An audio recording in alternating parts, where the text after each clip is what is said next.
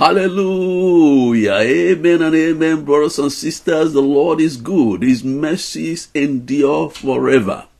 And that mercies of the Lord that endure forever also includes what He does for us that we are not even aware, and what He does for us that is in the world already. And we are talking about this adversary of man called Satan. And brothers and sisters, the reason why the Lord has brought us into this study of critical adversary, starting with number one, Satan, the chief adversary of them all, is to equip us with the grace to be overcomers. Because in this end time, the word overcome means you are going to face challenges and you are going to overcome those challenges. And so, by the grace of the Lord, in chapter 4, lesson 4 of this study on critical adversaries, we come to the dual mandate of Satan and his agents. I want you to pay attention. There's a, a, twofold mandate we need to bear in mind, and then we'll unpack it and make sure we receive all the Lord has for us. Let's pray. Father in heaven, thank you for the opportunity and the privilege to receive your word. Your word is to equip us, is to arm us. Lord, we pray that every one of us shall receive the truth, the rhema of the world, the, the, the, the light shall come in and it will lead to empowerment so that we'll be able to overcome that your name may be glorified in Yeshua's name. Amen and amen. Brothers and sisters, we need to uh, say something that we all must bear in mind. There is a place, just as Satan is a created being, he has a beginning as Lucifer. He also has an ending from his transmutation of from uh, Lucifer to Satan, the devil, the adversary he has an end from the throne of grace where he used to live, was cast out, roaming around. Now he has an ending. That ending is not just hell. Hell is a temporary place.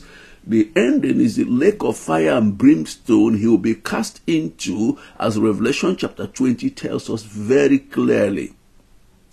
And so, knowing that his fixed end is in that place of perpetual torment, in the lake of fire and brimstone, Satan and his cohorts, they devote a good proportion of their time on a dual mission. What is that dual mission? That's what want to study today. The first one is to tempt, seduce, or drag as many human beings as possible to partake in the eternal torment in that lake of fire and brimstone which awaits them. You see, Satan hates mankind with a rabid hatred. And that place assigned to him and the demons that rebel with him, he wants as many human beings to end up there, to keep company. Then the second thing he does is to, the second part of the mandate is to make life as miserable, difficult, and hard as possible for those who escaped his grip by being redeemed. As if you're born again, you have escaped his grip from a judicial point of view, then he comes with attacks and all manner of things. The idea is to cause the life of such things to possibly be a reproach so that some of them will be tempted to seek solution from his agents to make them to bow before him even without knowing it or to just be a reproach to the name of the Lord. We're not going to expand those two concepts and that's what we're going to do today in this lesson. Please don't jump the gun. We're coming. Any area we didn't cover, we're coming. You know how the Lord deals with us in this commission. He gives us something, He begins to unpack it. So let's look at the first one tempt, seduce, or drag as many humans as possible to end up in the lake of fire and brimstone. As we said before, hell and the lake of fire they were they were, they were created for Satan's final place, the lake of fire, is for his eternal punishment. In Matthew chapter 25, verse 41, Yeshua said something very explicit. And there shall he say also unto them on the left hand, Depart from me, ye cursed, into everlasting fire, prepared for the devil and his angels. Those demons who followed him in his rebellion. It was prepared for them. So, fighting his war against mankind to the very end, Satan wants to see many people to join him and his cohorts And that is something important the Lord wants us to take note. That's why the Lord wants us to be resolute as human beings, not to be deceived. Not to be deceived. There are many people who ought to be saved, but He is deceiving them and they can't see. And that objective of the enemy must be clearly seen. We are told in the book of Second Corinthians chapter 4, if our gospel be hid, verse 3 and 4, is he to them that are perishing, whom the God of this world has blinded the eyes of them so that they won't believe. So the enemy has a, a goal to make people not to receive the gospel, not to hear. And then that's why the Lord said to people, you know, to, to really understand the way Satan operates. So within this ambit, some activities of Satan and his demons are unleashed against humanity. Number one, a negative operating environment which is inherently opposed to righteous living. From the day Satan deceived Eve and Adam and took the mantle of the world from them, he became the God of this world. From that day, that state in Eden, which was universally righteousness, peace, and joy, they lived at the behest of the Father, and they had everything the Lord had. Every good thing was at their disposal from that day that they fell. In Genesis 3, the sentence of hard labor pronounced upon humankind, womankind, you know, have to labor in hardness, pregnancy and all the issues involved. Man has to sweat to eat, you know, to till the ground, all those stuff. So there's an atmosphere that is contrary to what was originally created for the earth realm. So Satan is the God of this world at this time.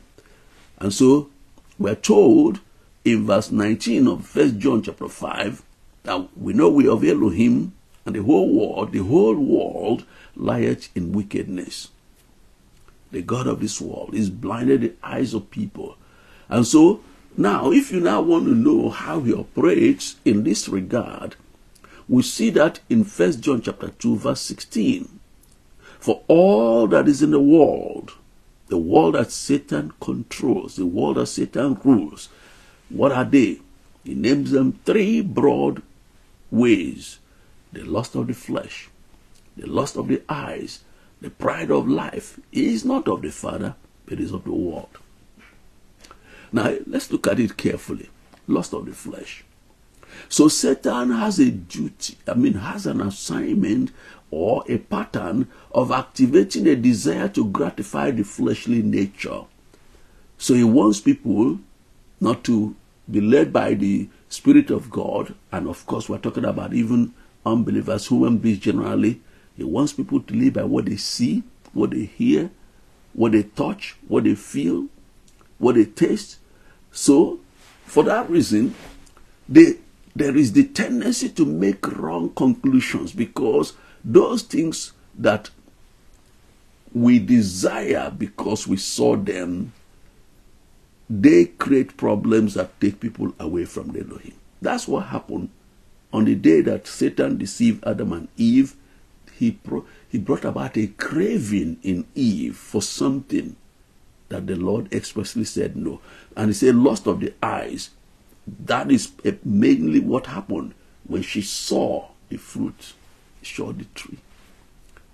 And then pride of life, the tendency to feel greater or better than other people because of certain things you have or don't have.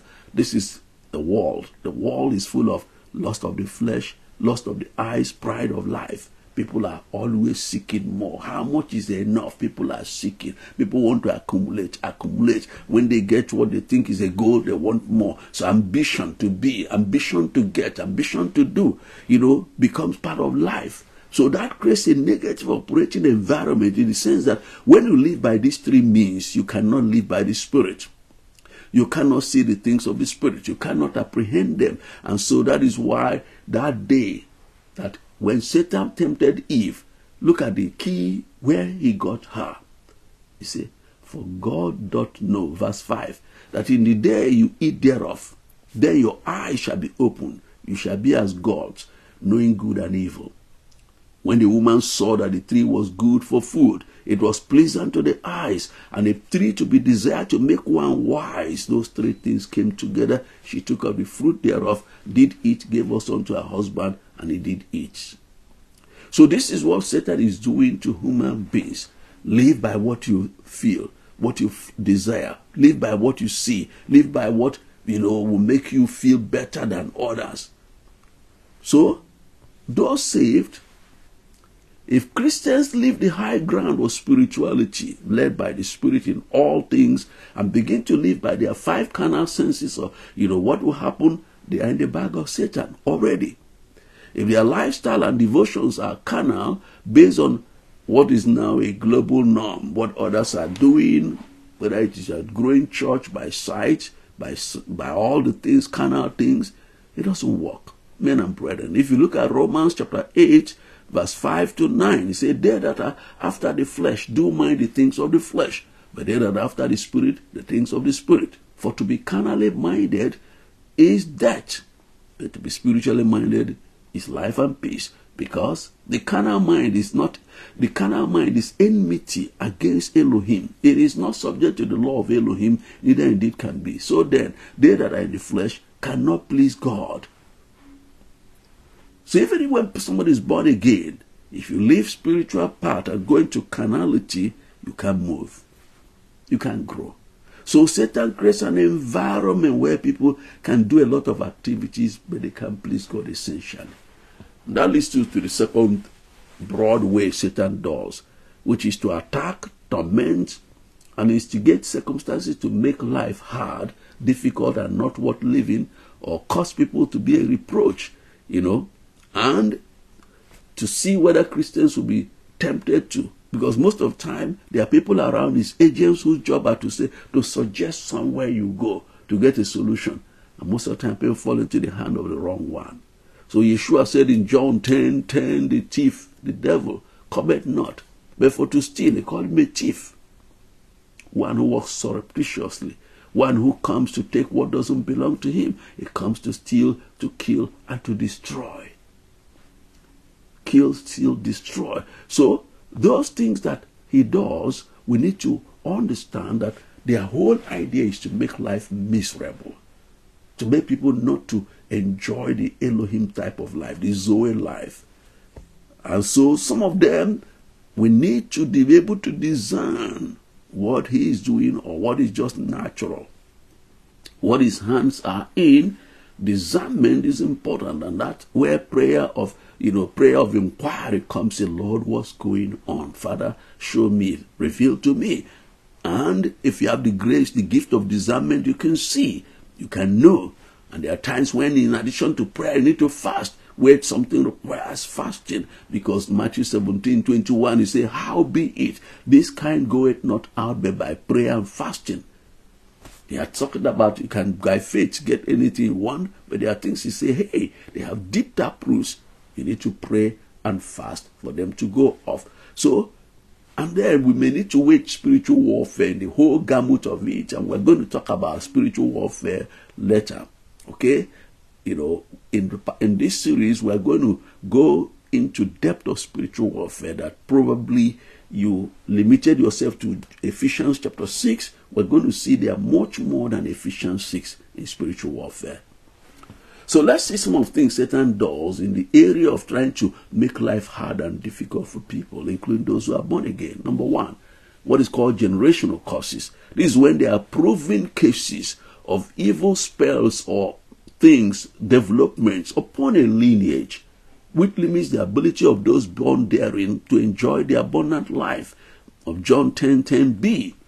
This may include, for instance, where there is so much premature deaths some places you go to, people hardly get to 45.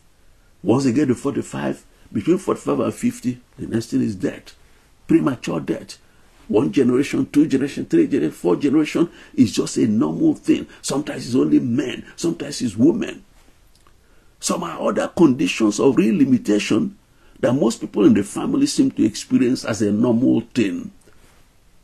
So, where there are such things, if you are born again, your life should be different. because you are born into Yeshua. You are born into the family of Yahweh by the blood of Yeshua. The bloodline that was infested with generational curses is what part of what you have been redeemed from. Now you have a new bloodline, the bloodline of Yeshua HaMashiach. You shouldn't suffer the same thing as them. So what do you do? Enforce by faith your new stature as a son of the Most High. Enforce it by declaration. Enforce it by decree. Enforce it by the ordinance of the blood and the authority of the name of Yeshua. And never confess association with that evil trend that was upon the family.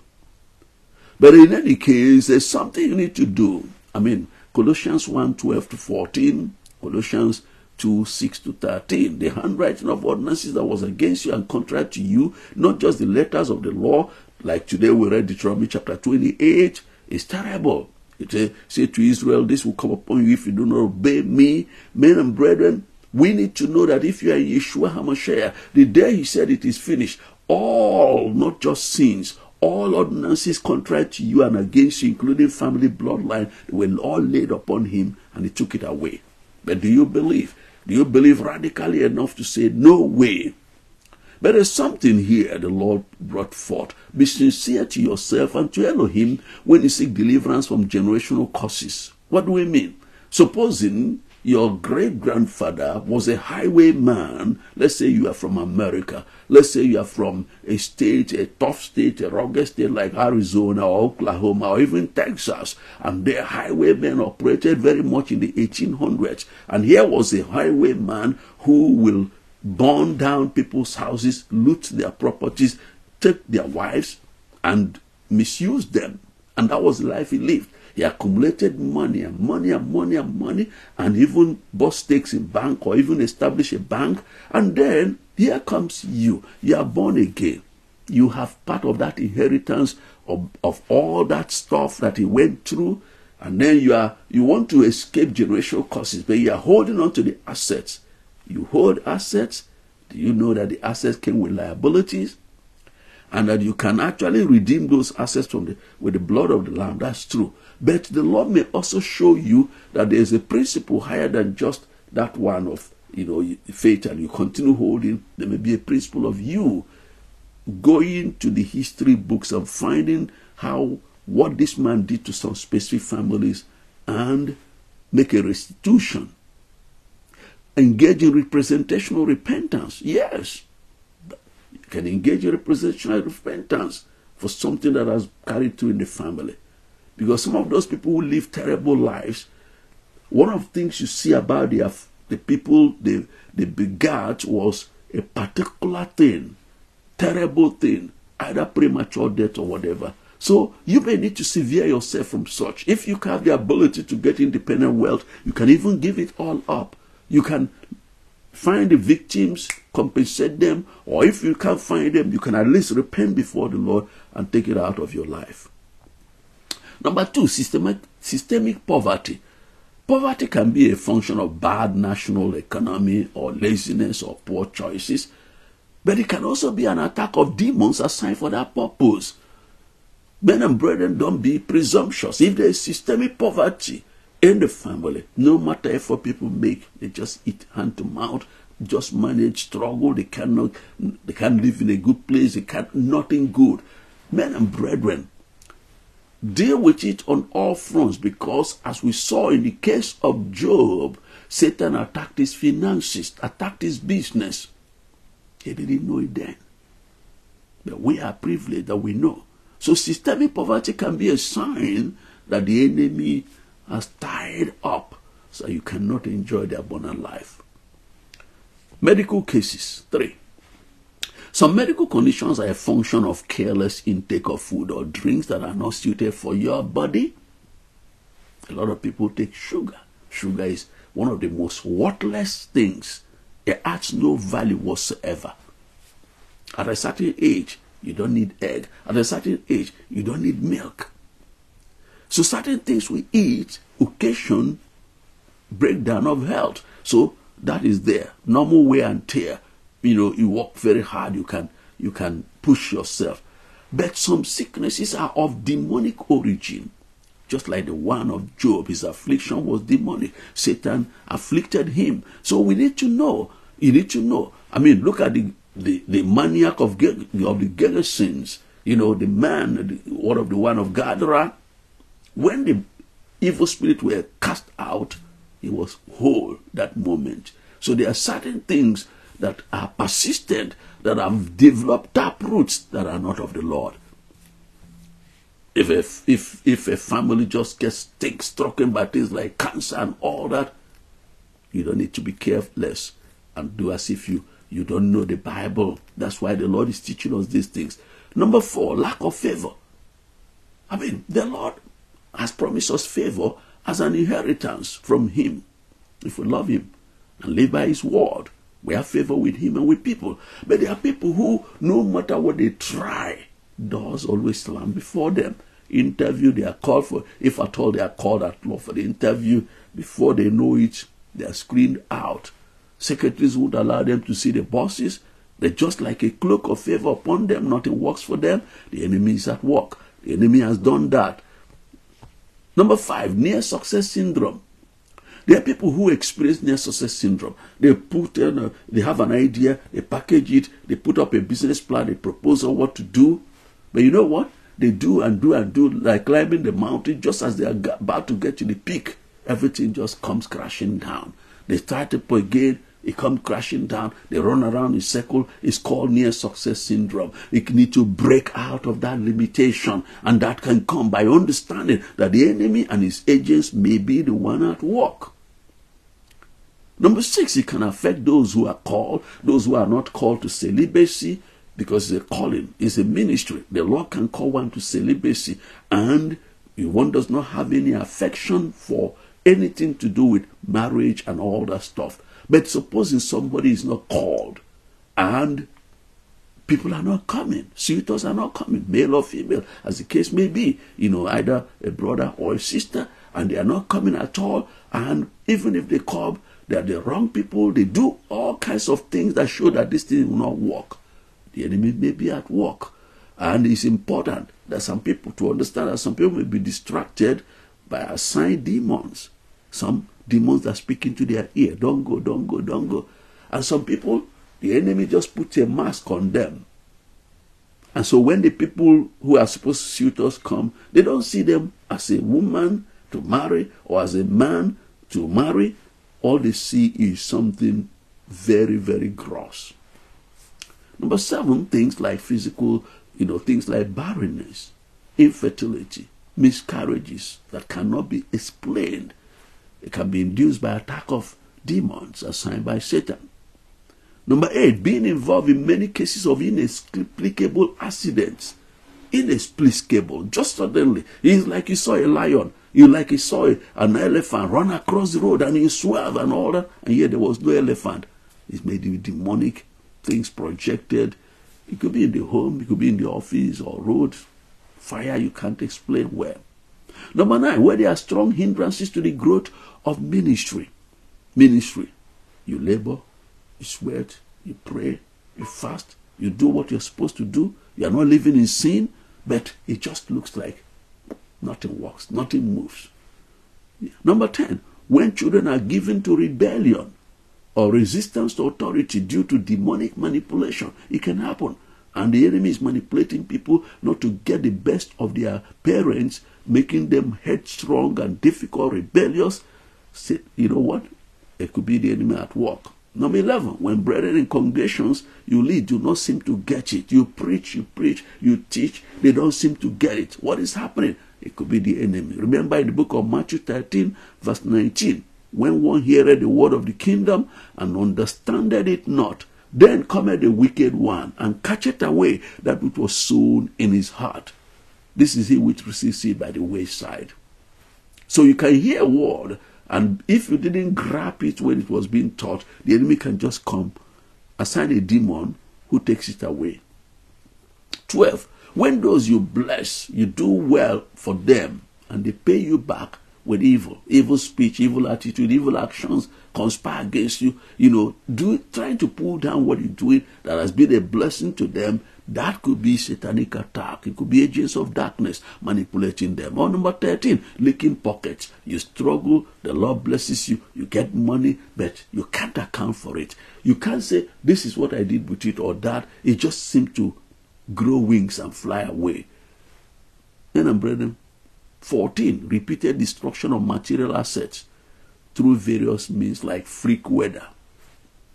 Just like that. Phew, hurricane, phew, tornado. That's it. And maybe you didn't even do proper insurance. You lose all. 15, low self esteem or worldliness. Those two. You don't feel who you are in Yeshua, who is in you. And because you don't feel it, you don't sense it, you don't know it, it makes you feel low when you are with people of the world, when you should know your end. You, knowing your end, knowing where you are going is supposed to constantly make you grateful, but you look at them, it looks like their world is better, their own is there, and this can be something manipulated against Satan. This list is not exhaustive. The Lord wants us to know the truth that will make us free. And we have many things we need to understand. That until Adam and Eve, I mean, from the day Adam and Eve sinned, a culture has been in the world, and until the time when Yeshua will come to restore all things on the earth realm, things may not work. But then we need to come to a place where we first ask ourselves, is there anything that is from me? Do I need to change my lifestyle, my diet, my attitude? If that is so, take responsibility. If there's something you need to release also, forgive somebody. Because when you don't forgive, you actually imprison yourself. So those are things you can check. And then if you have been blessed, maybe your parents train you in school. They, they like in Africa, they sold what they have to give you training. Now the Lord has blessed you. You are in the Western world. You are living well, and your parents are still suffering. You know what? You are giving permission to Satan to execute an evil ordinance against you because Ephesians 6 1 to 3 says, you know, honor your father and mother is the first command with a promise that it may be well with you and that you may live long on the earth. So sometimes you need to check up, not the enemy, check up whether there's anything, any lifestyle. Are you taking care of the one that trained you, the one that was, or your parents or your uncle that invested in your, your upbringing? You know what? It's important. So also, you know, Galatians 6 says from verse 6 to 9 also, the spiritual leaders, those who minister to you, bless you, empower you, do you know that you have a duty in the Lord to take care of them as much as lies in you? So what we're saying is that don't just blame the devil for everything. There are things that require us to make some adjustments and make sure we get it right. By way of assignment, kindly share five things you learned from this lesson. This evening, by the grace of the Lord, we continue, we continue to build up to the next uh, number, lesson number five, and to see certain things. Maybe this is the one way to say certain things. If you see them, you know, you know that the enemy is at work also, and the way he manipulates. Let's pray. And please share the video, encourage other people to also share, find people in groups, wherever you are. Let's get understanding the Lord wants to empower us. You shall know the truth. The truth you know shall set you free. Father in heaven, I pray this shall be so that the truth you have released will enable your people to come to the place where we we understand the work of the enemy and we do not allow him to continue, but we walk in victory based on the tools you have given to us. Have your way, sovereign ruler of universe. Yeshua Jesus' name. Amen. Thank you so much for being with us on this program and watching. And we believe you learned something and the Lord bless you. Now it's time to connect with us on our social media platforms. We have a daily live stream on Facebook, Monday, all the way to Sunday, every day, about 10:30 a.m. UK time, and that's the same as Nigerian time. And it's either Apostle George Monday to Friday uh, to Thursday, Pastor Grace uh, Friday to Sunday, and then in the evening of Sunday we have two sessions from 5:30 to about six after six, another one up to seven. So please join us on the live stream, and you're going to enjoy it. We also visit our website www.gsom.ac to download free ebooks. This course you just listened to, all these lessons, you know, there's an ebook we have free of charge. Everything we do is free. But more importantly, you can actually do your program on, you know, ebooks. You can do your program entirely on ebooks and with this video or anyone you want. You can also, if you want to do the yes course or be, do the master class, you can go to www.kingdomboostclub.com and you can subscribe so that you can do it. You can also subscribe to our channels. This YouTube, gsom.tv, and we also have a Telegram channel, GSOM Media. You can send us an email at akclife.tv at gmail.com. We love you dearly and we want to partner with you to make sure that the body of Yeshua, Jesus, is empowered with truth. Remember, it is the teach, train, equip, activate, and release paradigm. Absolutely free of charge. Have a blessed day, and we'll see you again soon.